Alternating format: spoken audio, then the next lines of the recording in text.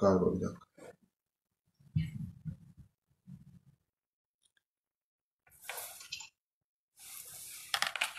Hepinize merhaba. Acaba acaba oldu mu bilmiyorum. Ufak bir teknik e, arızadan dolayı e, giremedim.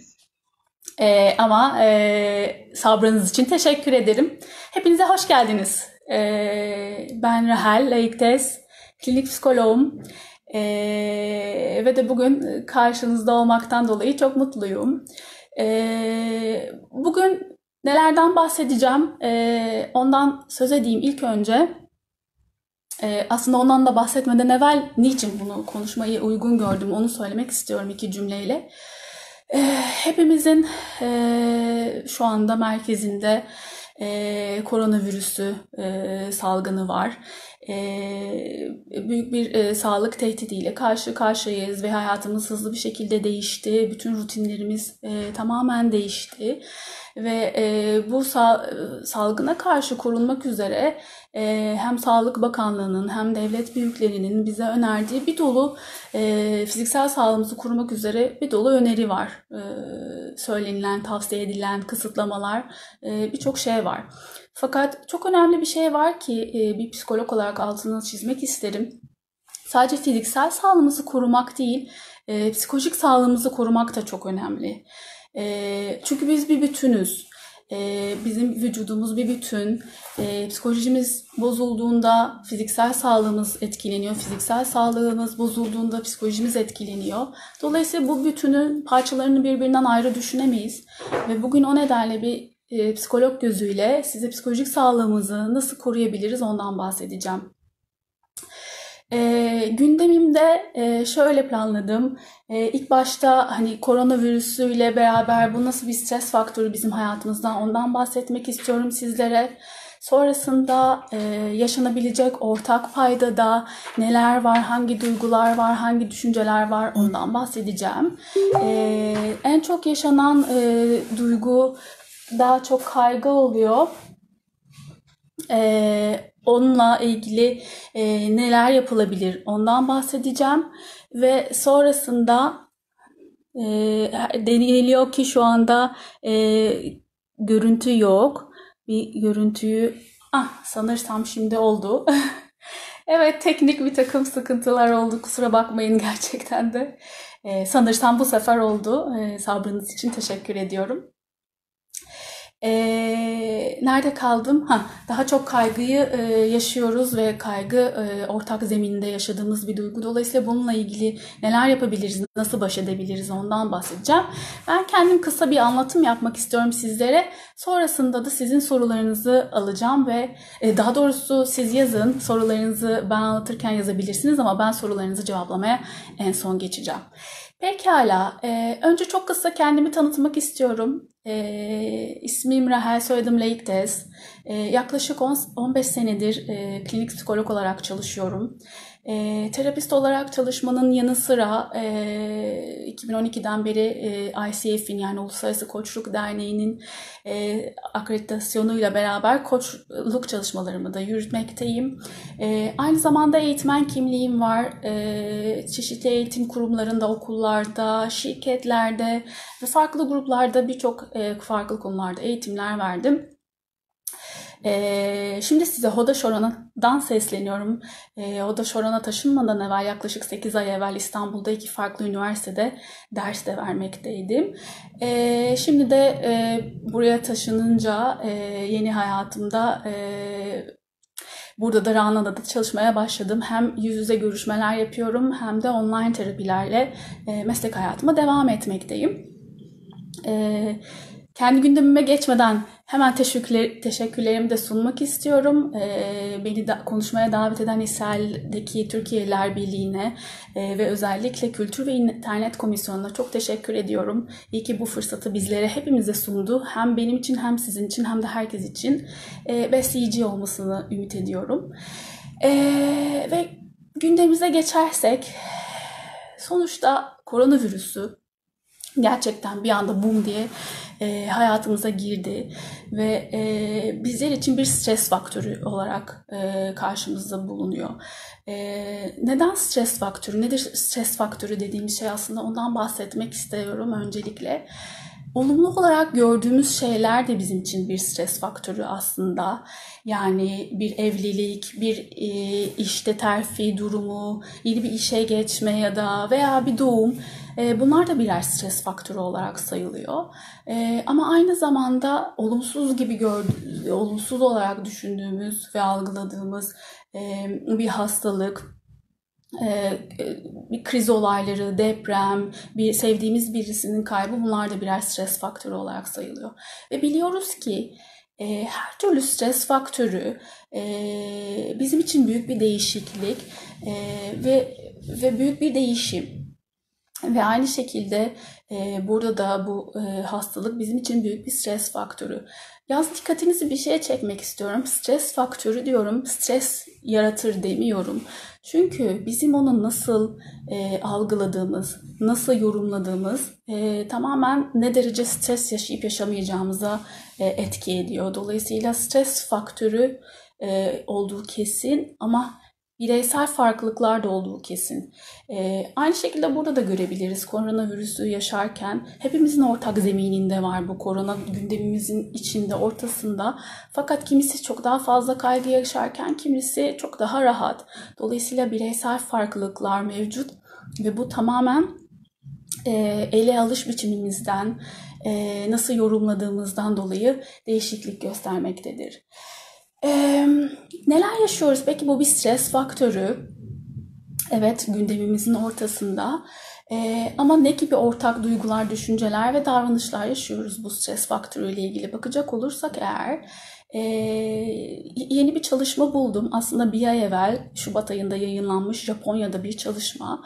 E, oradaki koronavirüsünden sonra insanların ne gibi şeyler yaşadığını e, anlatan bir yazı. E, ve söylenen şu ki aslında herkes bir şekilde bir belirsizlik hissediyor. Bu virüs ne zaman sona er, erir, erer bilmiyoruz. E, herhangi bir tedavisi var mı, bir aşısı olacak mı onu da bilmiyoruz. E, dolayısıyla büyük bir belirsizlik hakim ve belirsizlik hakim olduğunda büyük bir huzursuzluk yaşama olasılığımız oluyor. E, bir, bir, bir yandan güvende e, hissetmemeye başladık. Dışarısı sanki çok tehlikeli, her an bize bir şey bulaşır diye hissediyoruz. Dolayısıyla kendimizi çok güvende hissetmiyoruz. Ee, öfke yaşayan insanlar olabiliyor. Ee, nereden çıktı bu korona şimdi bütün hayatımızı değiştirdi diye öfke yaşayabiliyor. Ee, onun dışında e, enerjimizde düşüklük, keyifsizlik ve bunun gibi bir sürü duygu aslında ortak paydada buluşuluyor. ama en çok üstünde durulan ve, ve benim de onunla ilgili konuşmak istediğim duygu kaygı duygusu. Evet Kaygı duygusunun aslında bir parça ne olduğundan bahsetmek istiyorum öncelikle. Kaygı bir kere diğer duygular kadar normal bir duygu. Yani bizim insanoğlunun bir sürü duygusu var. Üzüntü olsun, heyecan olsun, öfke olsun, mutluluk olsun. Hepsi bizim e, doğal duygularımız. Hepsi yaşanması doğal ve hepsi de gerekli bizi biz yapan ve hayatta kalmamız için, devam etmek için e, gerekli olduğu, olduğumuz, gerekli olan duygulardır bu duygular. E, aynı şekilde kaygı da öyle. E, kaygı da önemli bir duygu ve de gerekli. E, çünkü kaygı aslında ne zaman ortaya çıkıyor? İleriye dönük bir takım tehlikeler görmeye başladığımız noktada kaygı yaşıyoruz. Yani kaygı şimdiki zamanın bir duygusu değil aslında ileride olabilecek senaryolardan dolayı hissettiğimiz bu duygu. Ne gibi şeyler olabilir? İşte ben hasta olabilirim, sevdiğim hasta olabilir, hasta olursam iyileşebilir miyim, ee, bakımım hastanede nasıl gerçekleşir, türlü türlü düşüncelerden dolayı aslında kaygı hissetmeye başlıyoruz. E, tamamen bizim düşüncelerimizle oluşan bir duygu ve tamamen dediğim gibi ileriye dönük bir duygu. Halbuki bir üzüntü bir şey olduktan sonra yaşadığımız bir duygu. Dolayısıyla e, kaygıyı tanımladıktan sonra şunu söylemekte yarar var ki kaygı hissetmek gerçekten çok doğal. Çünkü burada bir tehdit var. Realitede bir tehdit var. Bir fiziksel bir tehdit var. Bir sağlık tehditi var. Dolayısıyla hiçbir şey yaşamıyor olmak çok garip olurdu. E, o nedenle gerçekten çok doğal kaygıyı hissetmek. E, ama bir taraftan da çok gerekli. Çünkü kaygı hissettiğimizde aksiyon alabiliyoruz.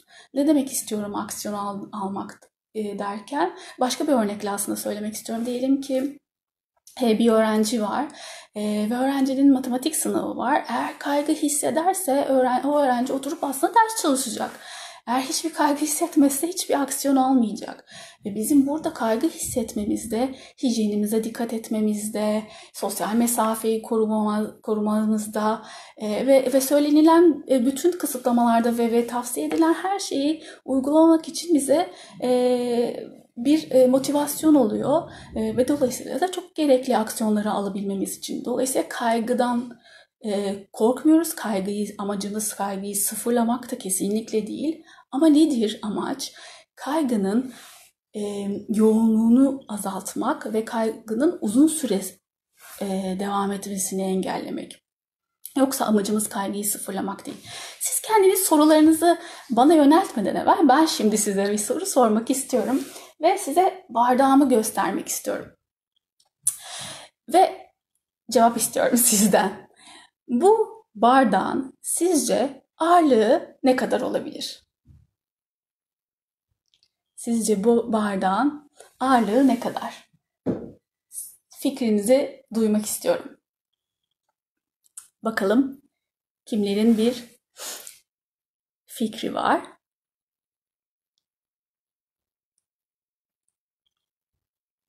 Gösterdiğim bardağa ağırlığını kim tahmin edecek? Kim söylemek istiyor? Var mı söylemek isteyen?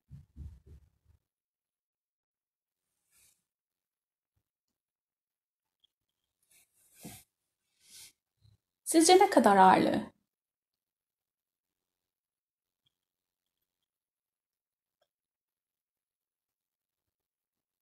bardak artı su kadar 350 gram, 200 gram gibi ağırlıklar duyuyorum sizlerden. E, fakat cevap gram değil 200 gram diye duyuyorum. Hayır hiçbiri değil. O da ne biliyor musunuz? Aslında bardağı ne kadar süreyle tuttuğuma bağlı olarak bardağın ağırlığı değişiyor. Eğer 500 gram yok hiç değil. Bu bardağı eğer ben 3 saniye tutarsam eğer hissedeceğim ağırlık başka bir dakika boyunca tutarsam bu bardağı hissedeceğim ağırlık başka. Eğer ki 5 saat boyunca tutarsam hissedeceğim ağırlık bambaşka. 5 gün demek istemiyorum zaten 5 gün tutamayacağım. Dolayısıyla şunu demek istiyorum. Bizim de bir kapasitemiz var ve kaygıyı tutabil bir yere kadar e, vücudumuz kaldırabiliyor. Çok fazla kaygı olduğu zaman artık yoğunluğu çok fazla olduğunda onunla baş etmek çok daha güç oluyor. Baş etmek çok daha güç olmanın yanı sıra psikolojik bir sürü rahatsızlığa ve fiziksel bir sürü rahatsızlığa e, bir zemin hazırlamış oluyor. Dolayısıyla vurgulamak istediğim şey kaygı, huzursuzluk, mutsuzluk gibi herhangi duygular yaşıyorsak çok normal ve de çok doğal. Ama onun süresinin çok uzamaması gerekiyor ve de yoğunluğunun çok artmaması gerekiyor ki e, bununla mücadele edebilelim ve bize fiziksel ve psikolojik zararları dokunmasın. Peki bunun altını çizdikten sonra ne yapabiliriz bu kaygıyla? Bundan bahsetmek istiyorum biraz da sizin sorularınıza geçmeden evvel. O da e, buna dönmek için şunu hatırlamak lazım. Bu kaygı nasıl oluşuyor? Nereden geliyor bu kaygı?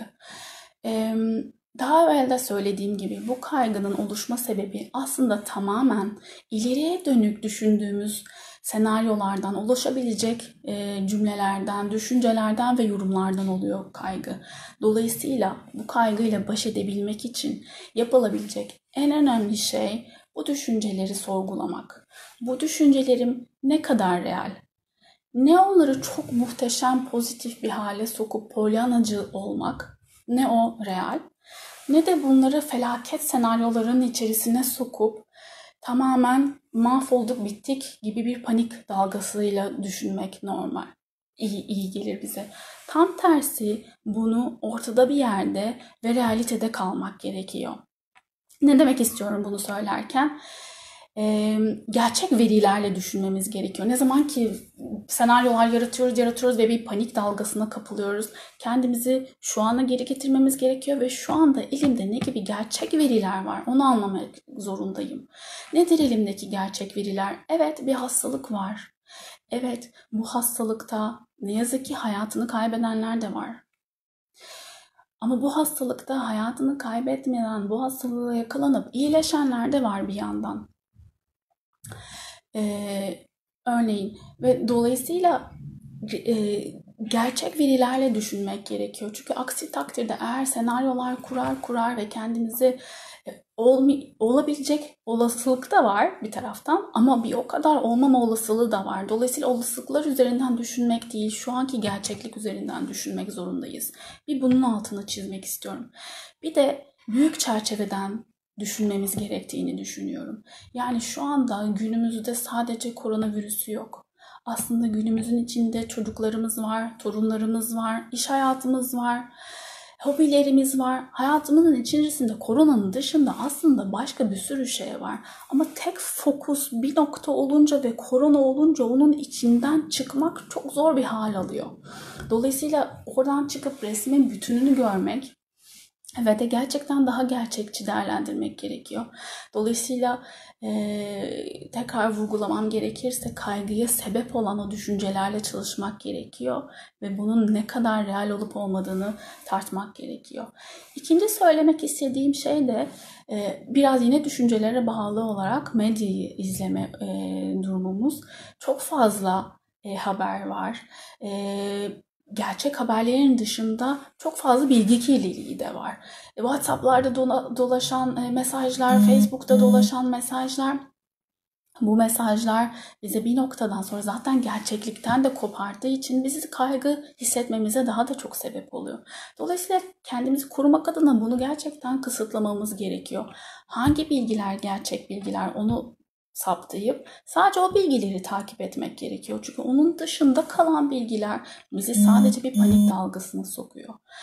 Ee, bunun bir reçetesi yok bence günde bir kere seyredin, iki kere seyredin. Bilmiyorum ben kendim şahsen sadece bir kere seyrediyorum ve bu bana yetiyor. Çünkü bir noktadan sonra hep aynı haberler dönüp dolaşıyor ve sürekli buna ekspoze olmak bir şey katmıyor. Evet bilgi almak çok önemli.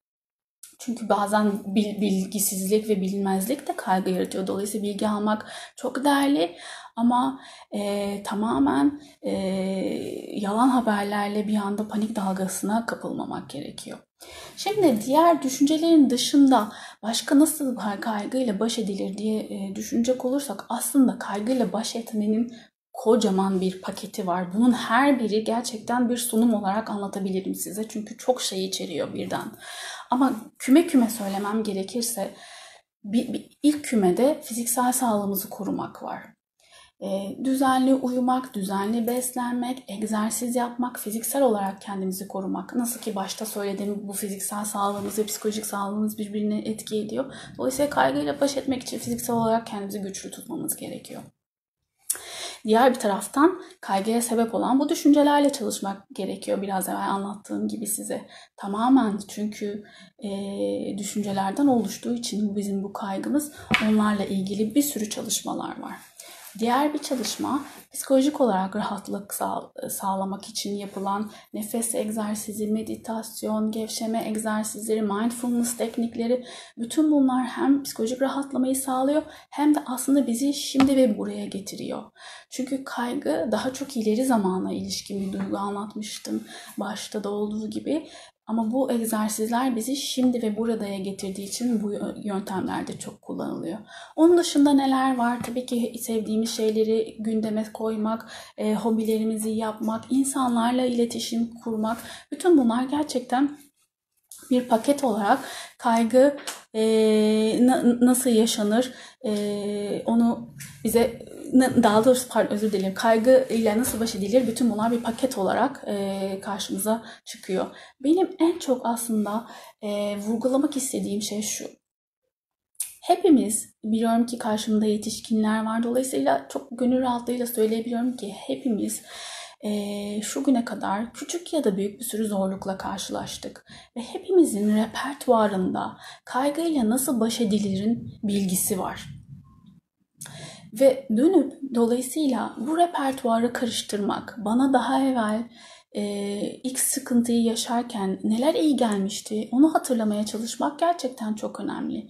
Diyelim ki eğer bir hastalık geçirdiyseniz daha evvel bu hastalık esnasında size neler iyi geldi, neler bu e, hastalıkla ilgili yaşadığınız duygularda neler e, yardımcı oldu onu hatırlamakta gerçekten büyük bir yarar var. Yeni bir şeyi getirmeden evvel hayatınızda eski bilgileri, eski repertuarınıza bakmak gerekiyor. Neler iyi geldi onları yeniden deneyimlemek gerekiyor. Belki değişiklikler gösterebilir şimdi. Tamamen aynısı olmayabilir. Diyelim ki spor yapmak iyi gelmiş olabilir o sırada o problemi çözerken. Şu anda dışarı çıkıp saatlerce spor yap yapamıyoruz. Ama evde yaratıcı bir şekilde nasıl spor yapabilirim, bunu yine kendimi nasıl dönüştürebilirim onu düşünebiliriz diye düşünüyorum. Dolayısıyla gerçekten repertuarımız hazinemimize geri dönmek, hazinemizde neler var, neler bize daha iyi, iyi geldi onu hatırlamakta gerçekten yarar var. Ee, bir de şunu söylemek istiyorum ki insanlarla temas etmek ve insanlarla e, konuşmak en büyük e, iyileşmenin bir parçası ve bu aynı şekilde kaygı için de geçerli. Çok ortak zeminde buluşuyoruz.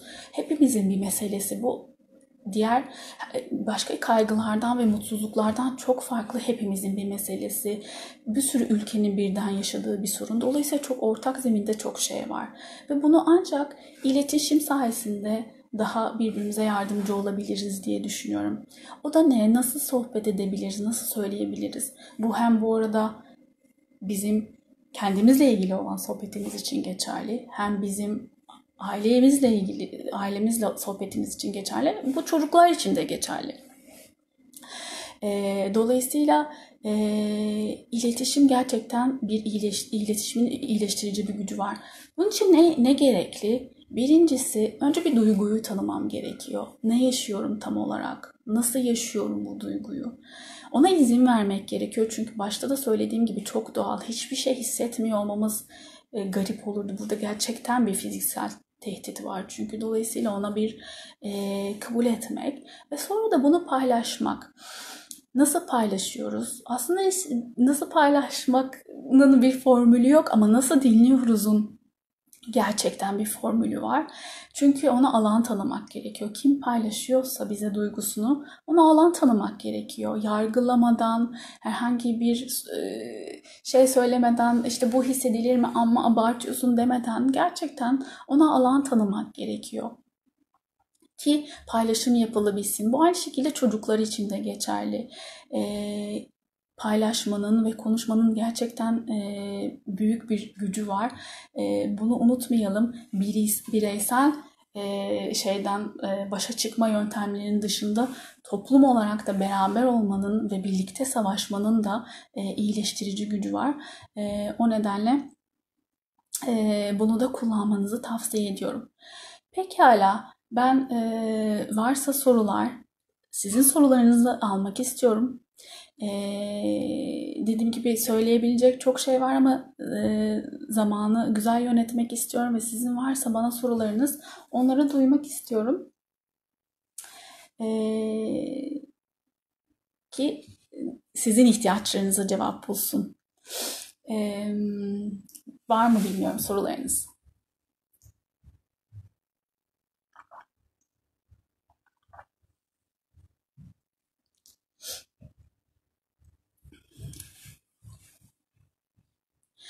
Genel olarak sorulan sorulardan başlayayım sizler soruna kadar. Çünkü bazen soru sormak da çok zor onu anlayabiliyorum. Herkesin gördüğü bir platformda soru sormak da çok zor olabiliyor.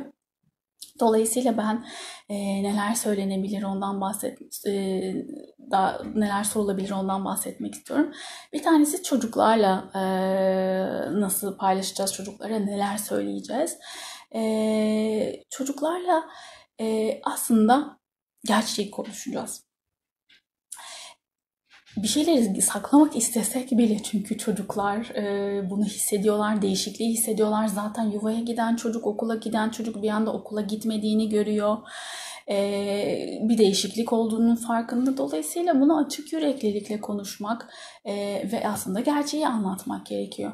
Ama pek tabii ki anlatım şekli çocuğun yaşına, çocuğun olgunluğuna göre e, değişiyor. E, ilk önce kendi yaşadıklarımızdan bahsedebiliriz. Bizim için de değişik olduğunu, bizim için de farklı olduğunu, zor geliyorsa zor olduğunu, kaygı hissediyorsak kaygı hissettiğimizden bahsetmeliyiz. Ama sonrasında da çocuğun neler hissettiğini duymalıyız. Onun ne gibi ihtiyaçları var onu anlam anlamalıyız ve onu alan tanımalıyız. Bazı çocuklar çok kolay anlatıyor. Belki bazı çocuklar pek rahat anlatmıyor. E, o nedenle de e, eğer anlatmıyorsa belki oyunu kullanabiliriz ve oyunla beraber onun neler hissettiğini anlamaya çalışabiliriz. Ee, bir soru görüyorum. Tünelin ucu belli mi diye bayan Karla sormuş. Ee, ne yazık ki tünelin ucu belli değil. E, tünel derken bu hastalığı kastettiğinizi anlıyorum. Hiçbirimiz ne olacağını bilmiyoruz. Zaten bu belirsizlik ve hiçbir şey bilmemek de rahatsız ediyor. Kontrol edemiyoruz gibi hissediyoruz ve kontrolümüzün dışında olduğu için de rahatsız oluyoruz. Ama ben şunun altını çizmek istiyorum. Her ne kadar bazı şeyler kontrolümüzün dışındaysa, yani herhangi bir aşıyla ilgili, tedaviyle ilgili bir, bir herhangi bir kontrolümüz yok, bir bilgimiz yok. Fakat kontrolümüzün içinde olan ve bizim yapabileceğimiz şeyler var. O da birincisi fiziksel sağlığımızı korumak. Söylenen yönergeleri uymak. İkincisi psikolojik sağlığımızı korumak. Kontrolümüzün alanı içinde psikolojik sağlığımız. Bunlar dışarıdan olan şeyler değil. Her ne kadar e, bu koronavirüsü bu kadar bir anda kaygılarımızın belki e, oluşmasına vesile olduysa da vesile lafını burada çok seviyorum. O, çünkü zemin hazırlamış oluyor ve vesile oluyor. Ama ama tamamen neden oluyor diyemeyeceğiz. Çünkü tamamen benim nasıl düşündüğüm, nasıl algıladığım bu kaygıya sebep oluyor. O yüzden benim kontrolümün içinde yer alan şey benim kendi düşüncelerim, kendi duygum ve kendi davranışlarım. O kadar da savunmasız değiliz. Yapabileceğimiz bir, bir sürü şey var. Aksiyonlarımızı biz alıyoruz. Kararlarımızı biz alıyoruz. Hijyenimize ne kadar dikkat edip etmeyeceğimizi, sokağa çıkıp çıkmayacağımızı biz tayin ediyoruz. Dolayısıyla ben e, çok e, kontrollü olduğumuzu düşünüyorum. Kendimizin üzerinde kontrolümüz var onu düşünüyorum. O yüzden her ne kadar hastalıkla ilgili bir belirsizlik olsa da kendimizle ilgili bir belirlilik, bir rutin kesinlikle oluşturulabilir. E, o kadar da ümitsiz görmüyorum o yüzden.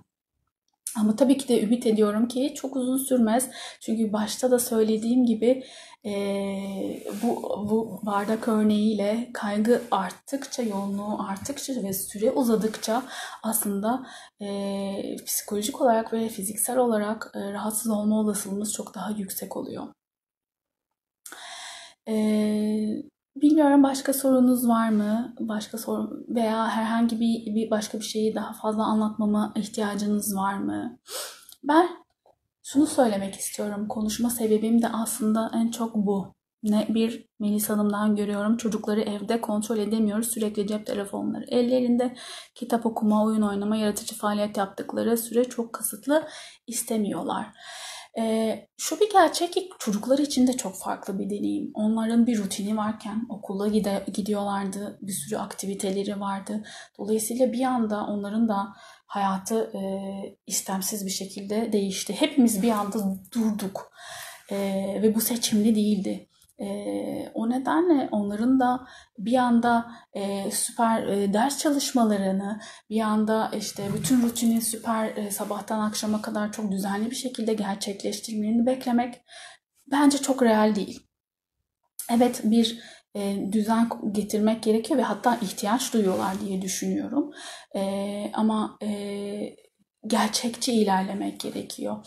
E, zaten telefonlar ve iPad ve televizyon daha çok ama telefon ve iPad zaten günümüzün bir sorunu yani bu e, şeyden bağımsız olarak koronadan bağımsız olarak zaten ne yazık ki çok fazla ellerinde. Ee, o yüzden e, normal zamanda da buna bir kısıtlılık koymak gerekiyor ama şu anda e, en azından bizler e, neler yapabiliriz? Bir belki sohbet edilebilir. Şu şu e, süre zarfında ne kadar evdeyiz onu bilmiyoruz. e, neler yapabiliriz e, onu söylemek, e, onu düşünmek ve sohbet etmek gerçekten önemli. E, daha efektif bir şekilde nasıl rutin oluşturabilirler, neler yapılabilir, e, beraber planlanabilir diye düşünüyorum. E, son bir şey görüyorum.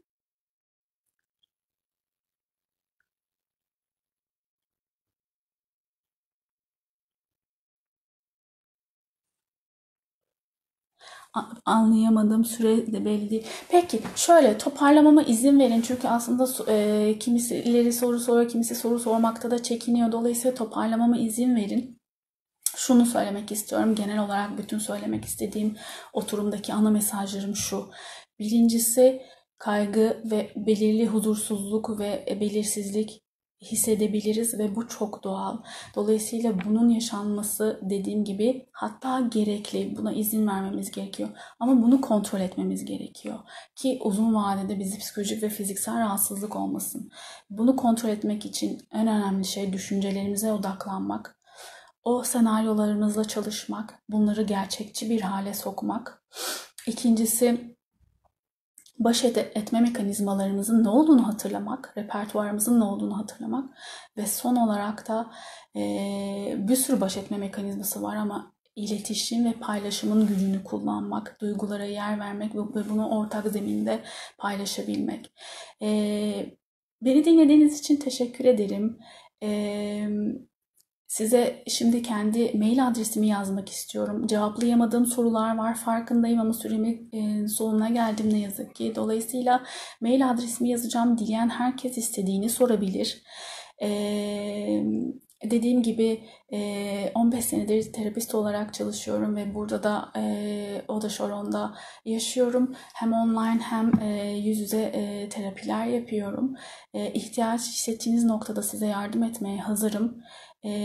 Bu oturumu sağladığı için tekrar İsrail'deki Türkiye'ler Birliği'ne çok teşekkür ediyorum ve özellikle Kültür ve İnternet Komisyonu'na teşekkür ediyorum. Ümit ediyorum hem sizlere hem de ve herkese yararlı olmuştur katılımınızla ve sorularınızla daha da zenginleştirdiğiniz için size de teşekkür ediyorum. Hepiniz kendinize iyi bakın ve sağlıkla kalın. Hoşçakalın.